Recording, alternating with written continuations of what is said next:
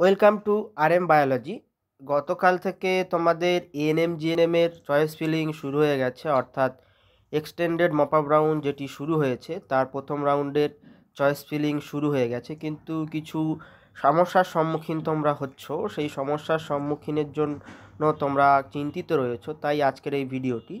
তো চলো ভিডিওটি শুরু করা যাক। তোমরা যারা চয়েস ফিলিং করতে চাইছো, যারা নিজেদের ফোন থেকে করছ বা অনেকে কম্পিউটার সেন্টার থেকে করেছ, প্রত্যেকে একই সমস্যার সম্মুখীন হচ্ছে। অনেকের ক্ষেত্রে লকিং হচ্ছে না বা যে সেভ চয়েসটা করছ, সেটা অটোমেটিক্যালি চলে যাচ্ছে।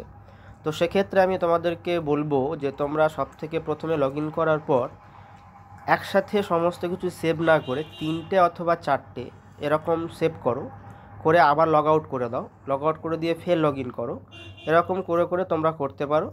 এটা একমাত্র উপায় আছে। এর কারণ হচ্ছে এটা কোনো কমিটি যারা করাচ্ছে, যে সেন্ট্রাল সিলেকশন কমিটি এসএসকে এদের কোনো দোষ নেই। কিন্তু যে ওয়েবসাইটের মাধ্যমে এটা হচ্ছে, অর্থাৎ সিলকনকো ডট ইন এদের সার্ভারের কিছু প্রবলেমের কারণে তোমরা কিন্তু এই সমস্যার সম্মুখীনটি হচ্ছ। যারা অনেকের ক্ষেত্রে কী হচ্ছে সব থেকে প্রথমে তারা লগ ইন করার পর সঙ্গে সঙ্গে হয়ে যাচ্ছে লক হয়ে যাচ্ছে, কোনো সমস্যা হচ্ছে না। কিন্তু ম্যাক্সিমাম ছাত্রছাত্রীদের ক্ষেত্রে এই সমস্যাটি হচ্ছে যে সেভ চয়েসও হচ্ছে না প্লাস লকিংও হচ্ছে না।